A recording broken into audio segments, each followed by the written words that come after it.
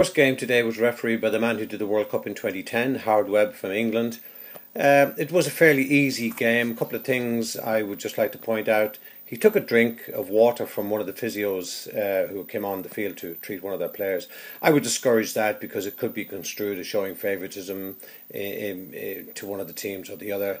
Second thing was he correctly suspended play when a beach ball came out of the field, and that's the correct thing to do. The last thing was there was a bit of confusion as to whether it was a free kick or a throw in, and players didn't know what was happening. The referee, in my opinion, added to the confusion by not being more direct and more concise about the actual thing. Eventually, it went to a throw in, and play was resumed. An easy game um, overall for Howard Webb.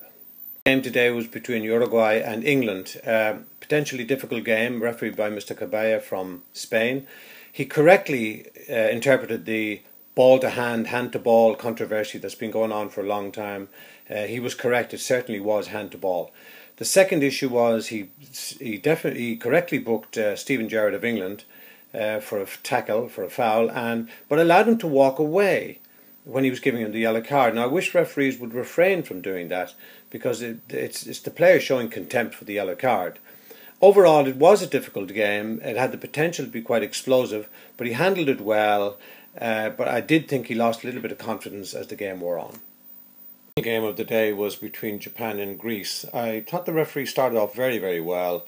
Um, he had a couple of yellow cards early on, and then he red carded the Greek captain, which was correct for a second yellow card, and I'm delighted he had the guts to do that. From then on, I thought he went downhill a bit, as it's as if he had lost a bit of confidence. Uh, some of the commentators, although I don't listen to them too much, but they were saying that he appeared to be giving more free kicks to the Greeks than they were entitled to. Uh, perhaps conscious of the red card that he had given. I thought he did go downhill as the game progressed and uh, appeared to lose a little bit of control of the game. A lot of silly tackles going in, a lot of players diving. Uh, for that reason, I, I marked him down um, on, on his overall mark. Thank you for watching my videos on kickshot.org. While you're on the site, uh, check out the there's a fantastic game there called Kickshot Board Games. It's very, very educational. It explains how to do bicycle kicks and free kicks and even explains some of the laws of the game. So it's very, very entertaining, particularly for family time and for children. So check it out. It's, uh, it's the board game on kickshot.org.